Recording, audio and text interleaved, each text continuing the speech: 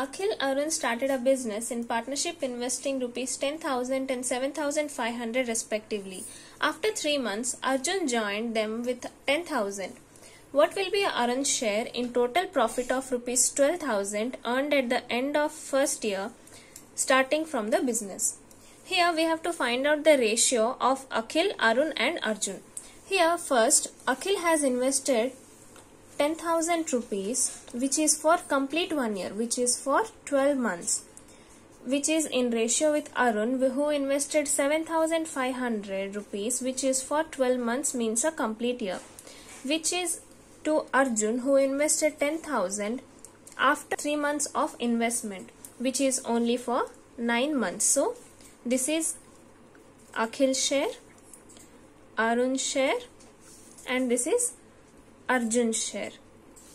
So here on reducing we get 1 lakh 20,000 is to 90,000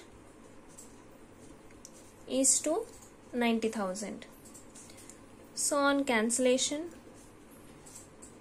we get the ratio as 12 is to 9 is to 9 which can be further reduced into 4 is to 3 is to 3.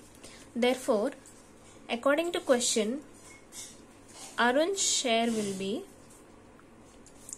as we can see the Arun share is in the ratio of 3. So 3 divided by sum of 4, 3 and 3 is 10 multiplied by the total profit earned in first year which is 12,000. So on cancellation and reducing we get 3600 rupees as Arun's share. Here the question is M scored 45% of marks and failed by 18 marks. N scored 54% of marks and got 27 marks more than passing marks. What is the score of P in some examination who scored 75% of marks? So here we have to find out the total marks first in order to find out the 75%. Here we have given that 45% total plus 18 marks is equal to 54% of total minus 27 marks. So on reducing we get 54% minus 45% of total marks is equal to 27 plus 18. So 9% of total marks will be equal to 45. So total marks will be 45 multiplied by 100 divided by 9 which will be equal to 500. So here the total marks are 500. So in order to find out 75% of it we get piece marks which is equal to 75 divided by 100 multiplied by 500 which is the total marks. So on multiplication we get 375 marks. A park is in a triangular shape. Its area is 360 centimeters square.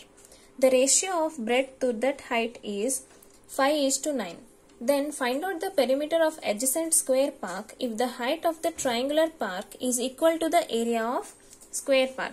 So here we have to find out the perimeter of the square park. Here the ratio of breadth and height of the triangular park is 5 is to 9 which means breadth will be equal to 5x and height will be equal to 9x which is square park's area. Okay.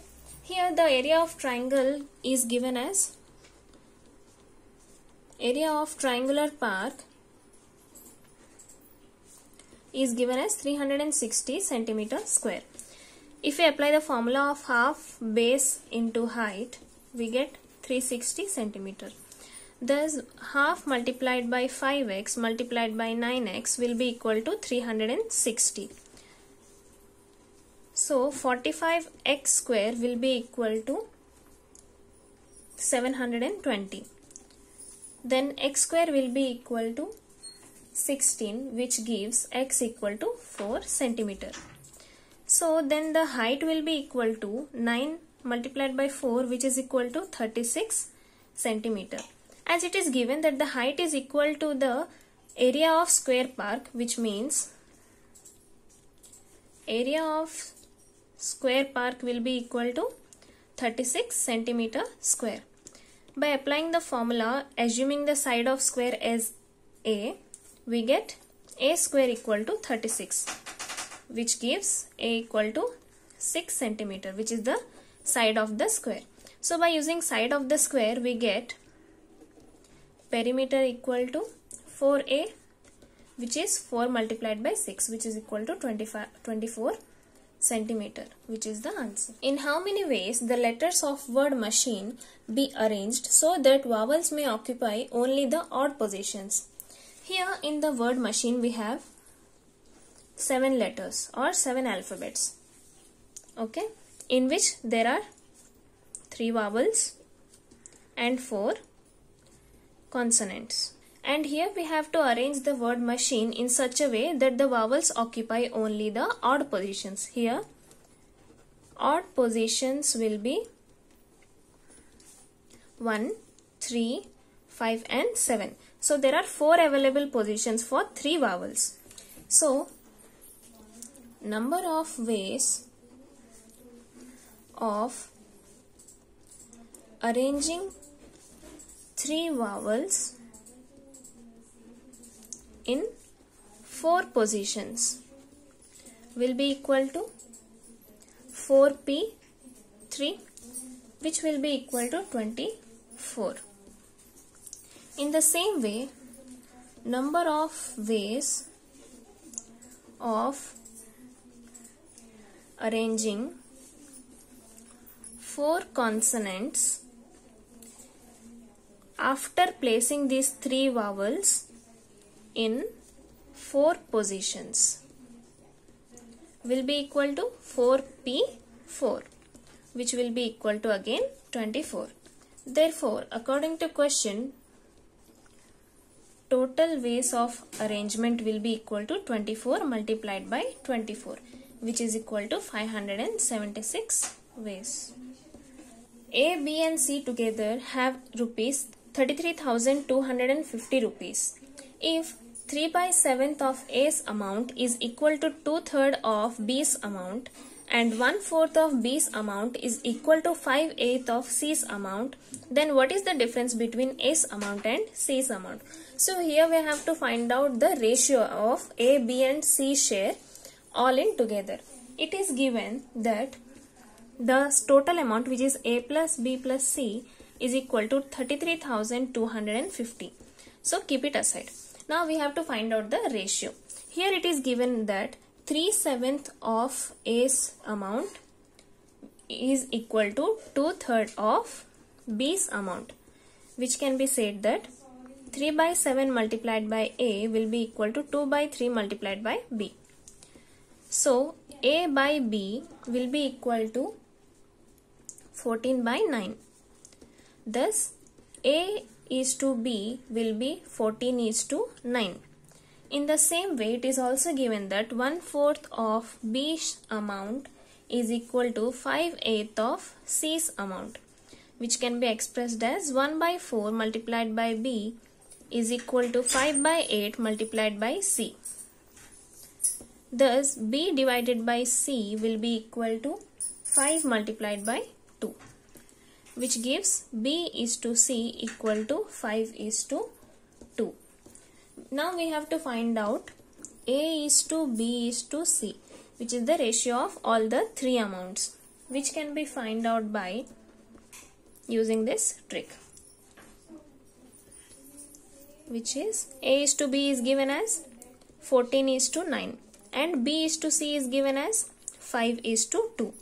So in order to find out A is to B is to C is equal to 14 multiplied by 5 which is 70 is to 9 multiplied by 5 which is 45 is to 9 multiplied by 2 which is 18. Thus A's share will be 70x, B's share will be 45x and C's share will be 18x. So in order to find out the value of x, we have to use the first equation. So taking it further, 70x plus 45x plus 18x equal to 33,250. So on solving this we get x equal to 250 rupees. Thus in substituting in A share we get 70 multiplied by 250 7500 and in C share we get 18 multiplied by 250 which will be equal to 4500 rupees. So in the question we have to find out the difference between A and C's amount. So difference will be 17,500 minus 4,500 which is equal to 13,000. So that's all for today. Do like, share and subscribe to our channel. Thank you.